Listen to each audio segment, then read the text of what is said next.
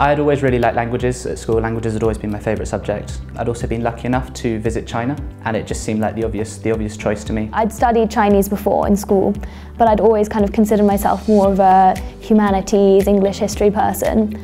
Looking at the course, seeing it actually had a lot of those parts that I so enjoyed at school, like literature and history, etc. And also you came out of it with this amazing skill, which is being able to speak Chinese. And I think I just thought that was such an amazing opportunity. It's about curiosity. I didn't know anything about China, and I've always found the country, its culture, its history, its literature, its politics simply completely fascinating. And that has never gone away.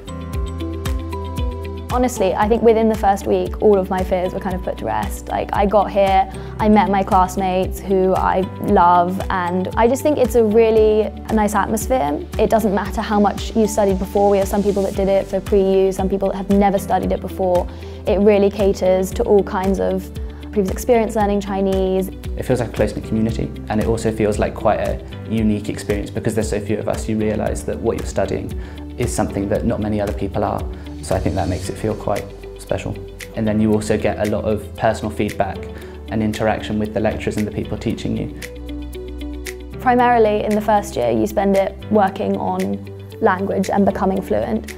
I think the point of the course, which I really enjoy about it, is that you're also taking history classes, you're also taking literature classes, film courses.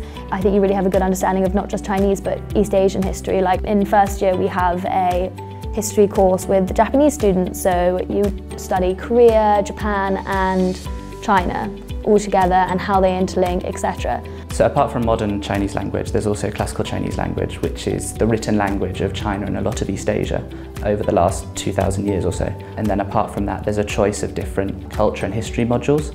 So this year I'm studying dynastic Chinese history and then globalization in China.